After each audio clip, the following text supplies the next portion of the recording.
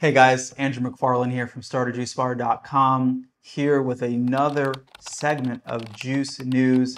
Today we are talking about how Texas lawmakers have passed a bill banning the terms beef, chicken, and other meat terms on plant based labels. This is a pretty big deal, and I'm going to talk more about what the implications and probably what I think is going to happen in the industry as a result of this.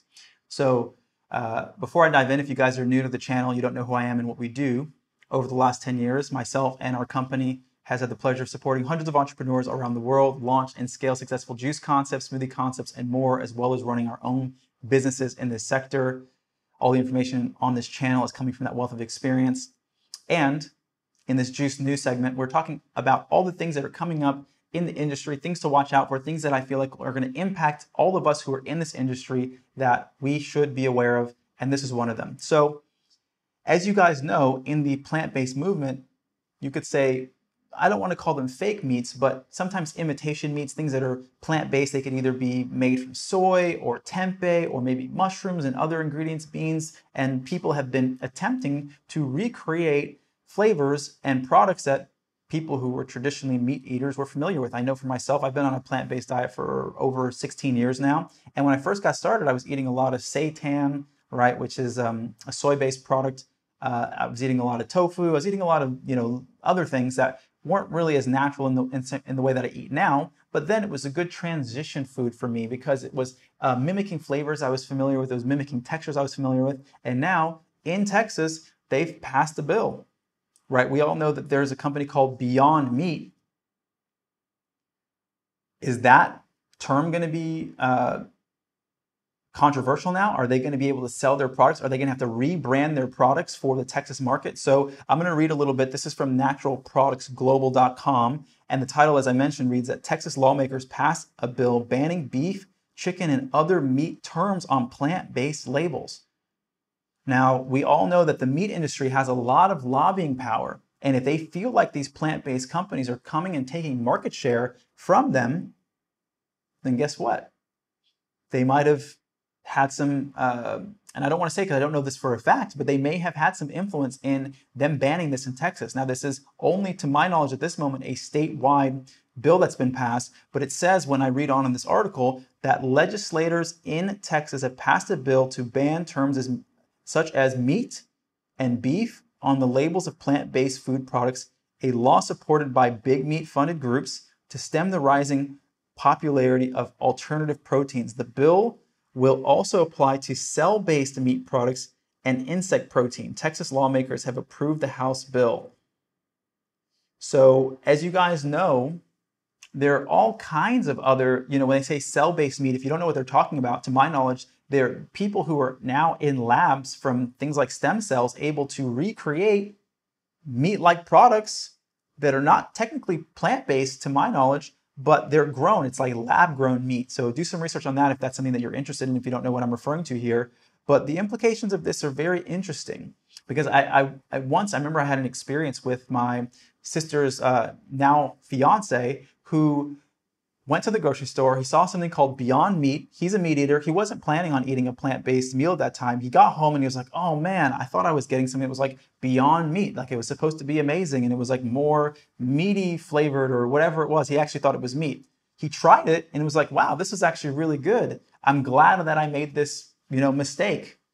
And so in that way, maybe he got converted because he wasn't totally aware of what he was buying. And now I don't know, um, you know, if that's a good or bad thing, but what I can say is if you're someone who's an advocate of the plant-based movement, then that would be, you know, one more person who at least maybe they might not be a full convert, but sometimes is going to maybe see an alternative. So I think the plant-based industry, and I wonder how this is going to translate to people who have juice bars because it might not just be these companies in grocery stores. It could be in your establishment. Are you going to be able to allow to use the word burger? Are you going to be able to allow, use the word chicken? I wonder if they're going to allow, because right now, a lot of times what people will do is they'll change the spelling. So they might say instead of, you know, C H I C K E N, they might remove the C and just say, you know, or I've seen people say like chicken, chicken or something, right? They change the wording of it so people know it's plant based. And they also sometimes don't even want to associate and have people who are plant based think that they're actually serving real meat. So this is an interesting dialogue. Um, and it's also going to have interesting implications for the way you label things in your business if you're in Texas. And who knows, like I said, a lot of times with certain states, certain trends will pick up and it might start in Texas. And who knows, it might become a, a nationwide thing eventually. We'll see.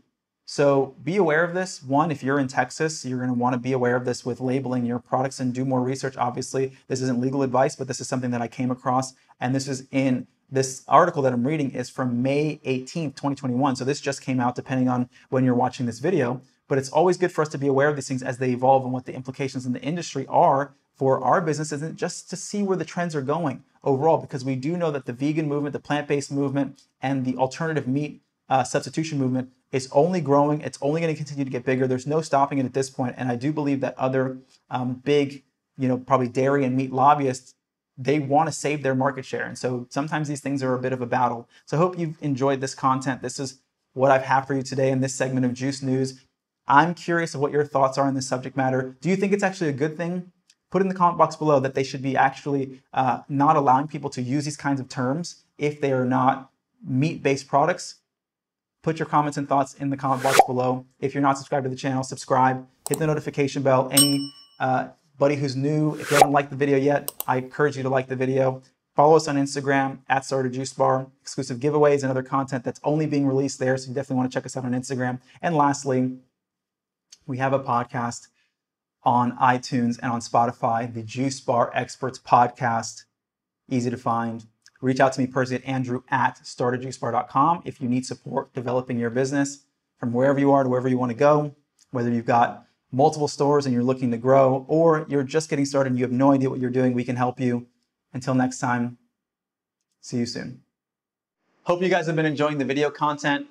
If you are inspired to launch your juice business, but you're not exactly sure what steps to take, for you, we've created a free ebook 15 steps to starting a juice business from scratch. This is going to give you a high level overview of everything you need to do from where you are now all the way to opening your business. Now, if you want to go even deeper, we've created an online course, the Juice Bar Master Blueprint. This is going to go into great detail into every aspect of starting your business, everything from branding to menu development to finding the right location, the equipment that you need, and so much more, all the way to launching your business. There's links for both of these in the description below. I know you're going to find a lot of value out of them. As always, hope you guys are happy and healthy, wishing you a lot of success, and I'll see you at the next video.